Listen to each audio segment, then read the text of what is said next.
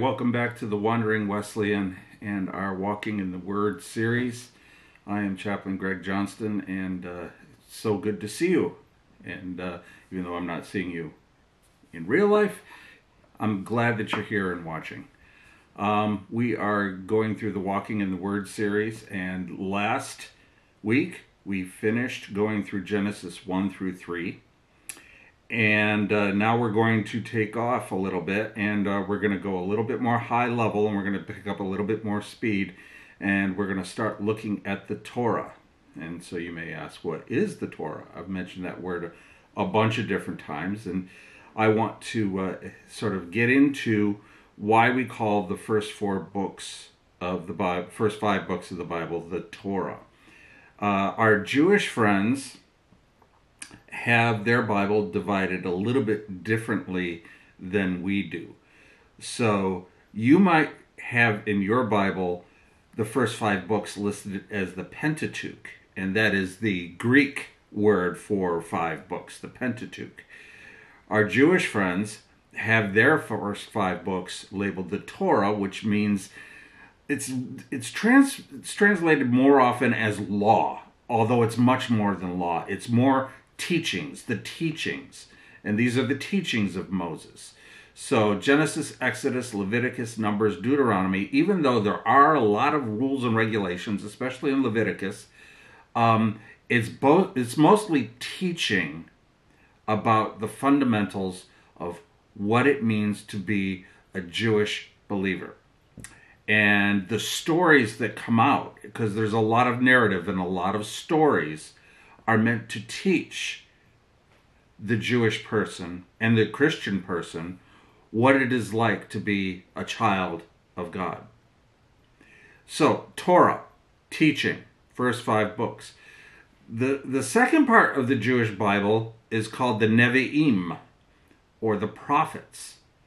Now, we have a lot of what our Jewish friends consider prophetic books in history. So Joshua through Kings to our Jewish friends would be uh, prophetic, would be part of the prophets. Uh, Ruth wouldn't be a part of that. Ruth would be a part of the next section, which we'll talk about. So Joshua, Samuel, Kings, and then all of the prophets that we think of normally as prophets, except for Daniel. Daniel is in the next section.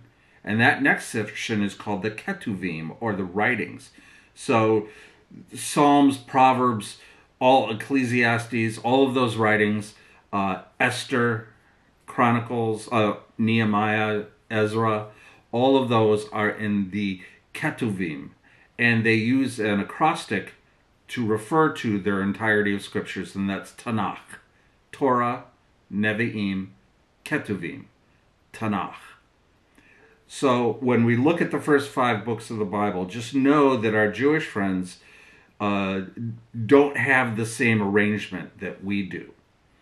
And uh, uh, if you want to get a good look of, of what this looks like, there's a Bible called the Complete Jewish Study Bible, or even the Tree of Life Bible has it in this order. And if you have the YouVersion Bible app, you can get those versions real easy and you can take a look. And uh, the Complete Jewish Study Bible puts all the books in their Hebrew names. So that's kind of interesting too. But we're talking about the Torah, and with the Torah, we start with Genesis. Now, we've focused quite a bit on the first uh, the first three chapters of Genesis, and when we say the word Genesis, that doesn't sound Hebrew, does it? It sounds Greek, and Genesis is Greek. Um, what the Greek names Genesis, Exodus, that is not a Hebrew name. Deuteronomy certainly isn't a, a, a Hebrew name. Where does that come from? Well, it comes from a, a writing called the Septuagint.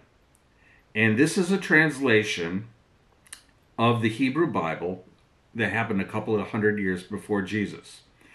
And the Hebrew Bible was translated into Greek which was the common language of the world at that point. Um, 70 scholars in Alexandria, Egypt, did this translation.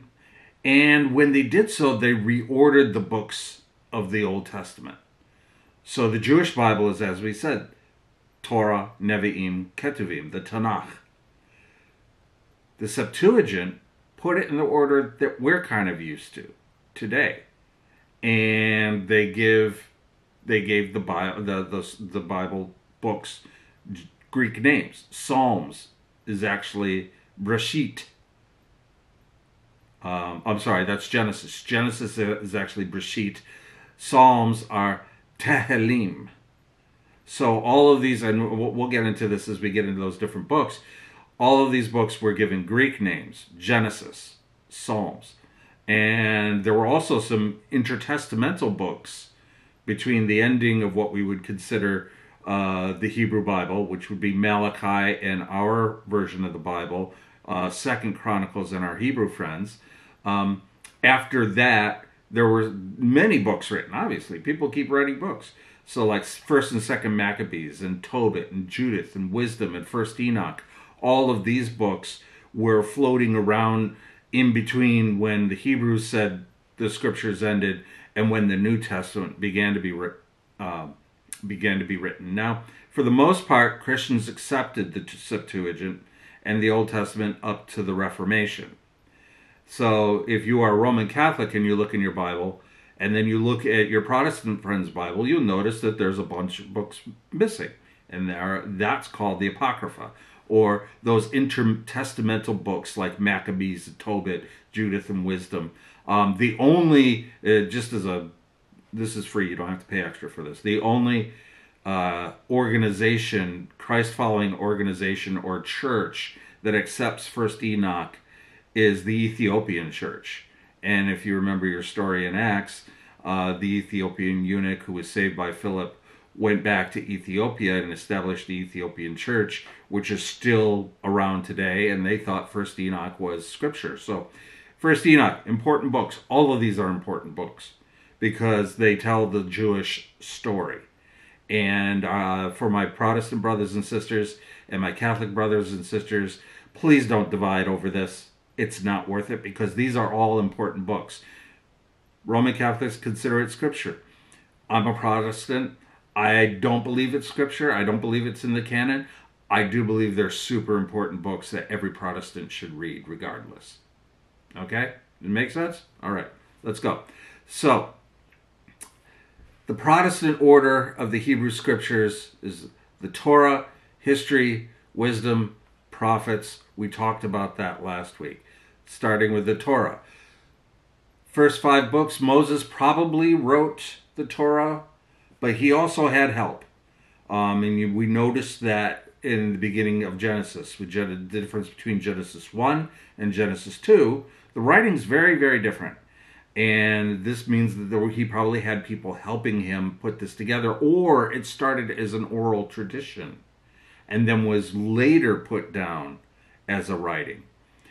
Um, here's the here's the thing. With these books they went through several revisions. So the torah was around when samuel was around and his school did some editing work on it and then when the exile happened, and the nation of Israel was exiled to Babylon, even further revisions were done to it. So that by the end of the exile, they came out with what we really have today. And it, it's amazing that God has sustained these scriptures for all of that time. So, Breshit, that's is Genesis. Breshit. It's divided into two sections. So the first section of Genesis, and we're going through the Torah now, starting with Breshit or Genesis, and it's divided into two sections. Chapters 1 through 11 have to do with God and the world, whereas chapters 12 through 50 focus on a single family. That family is going to be very important. We'll get to that. But first of all, the first 11 chapters. Now, we've been through the first three, um, but we pick up in chapter 4, and we are talking about Adam and Eve's kids.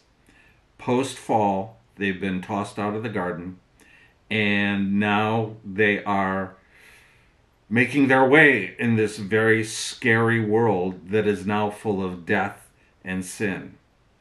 And they have two sons, Cain and Abel. And I would imagine most of you have heard that story that Cain killed Abel. Um, why would God reject Cain's offering but accept Abel's offering? When you read the text, you'll see that both of them had different occupations. So Cain was a shepherd, he herded animals. Abel was a farmer, and he raised crops. Abel gave the first and best offering to God because he knew that everything he had was provided from the Lord. Cain just gave. Cain gave out of obligation, not out of a sense of gratitude. So God said, I don't accept your offering. Now, what Cain could have done is he could have gone back and said, All right, let's do it again. I'm going to give you my best. I am grateful for the fact that I can sustain my life raising animals. He didn't do that. He became jealous of his brother. And the first murder in the Bible happens when he kills his brother. God gives a curse upon Cain. So Cain is doubly cursed. He's got the curse from his parents and now the curse from this sin. And this curse that God gives him says that he needs to wander about. He's going to keep wandering through the world. And this scares Cain. And he says that right here in Genesis 13 My punishment is too great to bear, since you are banishing me today from the face of the earth, and I must hide from your presence and become a restless wanderer on the earth whoever finds me with kill will kill me. Now, like his parents, God provides an answer for that. Look at uh, verse 15. The Lord replied to him, In that case, whoever kills Cain will suffer vengeance seven times over. And he placed a mark on Cain so whoever found him would not kill him. Why is this important? Because one of Cain's descendants, his name is Lamech, Lamech comes around in verse 23 of chapter 4. All right? It says, Lamech said to his wives, now he had two wives. This is the first instance of polygamy. Look, folks, some people say that the Bible justifies all kinds of things polygamy, slavery, all of this kind of stuff. In the case of polygamy, there's a lot of it in the Bible. A lot. There's going to be a lot in Genesis. But here's the thing when you read the accounts of people who practiced polygamy, it never turns out good. It's always disastrous. So this fellow named Lamech, he says to his two wives, Ada and Zillah, that's his wives, hear my voice. Wives of Lamech, pay attention to my words. For I killed a man, wounding me, a young man for striking me. If Cain is to be avenged seven times over, then for Lamech it will be 77 times over. So he is taking that protection that God gave him and using it as a weapon against other people. Lamech was a bad dude. He was a bad guy. But notice that language. Where have you heard that before? If Cain is to be avenged seven times over, Jesus, how many times should we forgive? Seven times? Then for Lamech, it will be 77 times. Jesus replied, No. You are to forgive 70 times 7. So he's pointing to this, where Lamech says that judgment and vengeance should be repaid 77 times over. Jesus flips that and says, no, forgiveness is to be repaid 70 times 7 over. Just a little link there. And that's one of the cool things about reading the Bible. Really cool things about reading the Bible is that there's hyperlinks back and forth in between the Old Testament and the New Testament, between the Hebrew scriptures and the and the Gospels and the epistles. There's these hyperlinks back and forth. And as you're reading through, you'll see that. Now, the next section of Genesis, uh, chapters 6 through 10, is a big section, and it's kind of controversial. It's the story of Noah. Why is it controversial? Well, there's been lots of people who say this could have never happened. And for those folks, I say, okay, but what is the story telling you? I tend to think it happens. I think there's an awful lot of uh, stories of floods throughout the ancient world that sort of match this. Um, there's geographical evidence that a, a, that a tremendous flood happened at some time in the ancient world. Um, Noah and a big ark building that seems impossible for one man to do. Well, okay, but if God enables him to do it, he's an amazing God. He can do anything. But if that's beyond something you can believe, fine. Hold on to that. Because that's not the point of the story, whether or not there was an actual ark, whether or not there was an actual flood. If you can put that aside and understand what God is trying to tell us through this narrative. So, we're going to go to chapter 6 and we're going to talk about Noah. Now, Noah, now, Cain has his line of people, and his line of people are pretty evil. Adam and Eve had another son. His name is Seth. And Noah is a descendant of Seth. So it goes Adam, Seth, Noah. We're going to come back. We're going to review that lineage over and over again. And in verse 11 of chapter 6, it talks about how the earth is corrupted, how the earth is completely filled with sin, and there's only one righteous dude Noah. People get a little miffed, and you know what? We should be uncomfortable with the fact that God pronounces judgment over the whole earth and wants to start over again. Because in our minds, how many innocent people die? Well, here's the key there were no innocent people. Even the children brought into this would have been raised in this evil. Humanity was on its way to destroying itself through violence, through killing, through child sacrifice, through all of this.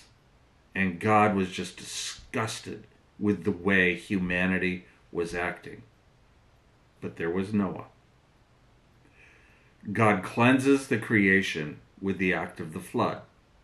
It's a cleansing, it's a baptism. Think of it that way, where Noah is placed in the water and rises up out of the water. The ark holds the remnant of humanity and creation and when it is all over, there's a rainbow in the sky as a sign of God's promise that He will never flood the earth again. He's reserving fire and brimstone and hail, but that is for the end of this series when we get to uh, the book of Revelation, John's Apocalypse. So, the flood ends. Earth is cleaned, and we can start over again with a brand new family. And Noah has a son, and he has three sons, actually. Okay? So his three sons, uh, Shem and Ham, are the two main ones here. And Ham does something really nasty. So Noah gets out of the ark, he settles down, and he plants a vineyard, and when you plant a vineyard, you tend to want to make wine. You make wine. Noah got drunk, very drunk. And the Bible says that he was exposed to be naked. And this is in uh, Genesis 9. So let's go there real quick. I got uh, Noah, as a man of the soil, began planting a vineyard. He drank some of the wine, became drunk, and uncovered himself in the tent.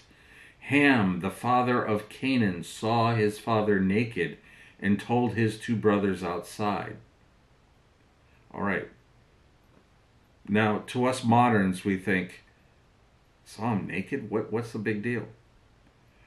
Well, look up Leviticus 18 uh, verses 7 through 8. I'm not going to read it here. It's gross. It uses the same language. It's a it's actually a sexual immorality against Noah's wife. Nasty. And then Ham goes out and he brags about it to his brothers. Well, Shem, in verse 23, then Shem and Japheth um, Noah's other son, took a cloak and placed it over their shoulders, and walking backward, they covered their father's nakedness. Their faces were turned away, and they did not see their father naked. And when Noah awoke from his drinking and learned that his youngest son had what he had done to him, and again, remember that is, um, that is Ham. He said, "Canaan, who's Canaan?" Canaan is Ham's son. Canaan is cursed. He will be the lowest of lowest of slaves to his brothers. So, son of Ham is named Canaan, and they settle in a region called Canaan. And the people who grew up there were called what? Canaanites. They're going to come back later. So that's the story of, of Noah, and I'm going to end here. And we're going to finish up this first section of chapters 1 through 11 with a brief discussion of the Tower of Babel, and then start talking about that individual family. So if you like these videos, please like and subscribe, and uh, I will see you next week. This is Chaplain Greg. God bless.